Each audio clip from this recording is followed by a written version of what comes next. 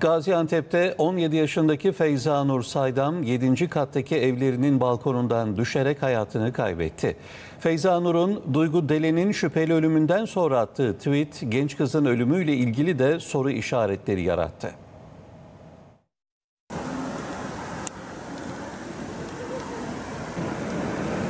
Bir yere gitmem ama kaçırılmış olabilirim. Bir yerden atlamam ama biri atmış olabilir. Bu sözleri yazmıştı sosyal medyadan Duygu Delen'in ölümünün ardından. Şimdi ise şüpheli ölümüyle gündemde. Gaziantep'te yaşayan Feyza Nur Saydam 7. kattaki evinin balkonundan düştü. Hastaneye kaldırılsa da çare olmadı. Doktorların tüm müdahalesine rağmen yaşamını yitirdi. Saydam'ın ölümünün ardından polis ekipleri soruşturma başlattı. Genç kızın erkek arkadaşı Mehmet Kaplan'ın evinin balkonundan düşerek hayatını kaybeden Duygu Delen'in ölümünün ardından yazdığı yazı ortaya çıktı. Yazıda bana bir gün ulaşılamazsa kaçmamışımdır, kaybedilmişimdir.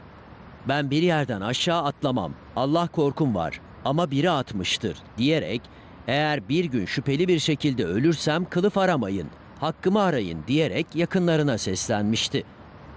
Feyza Nur'un şüpheli ölümü yapılacak soruşturmanın ardından aydınlatılacak.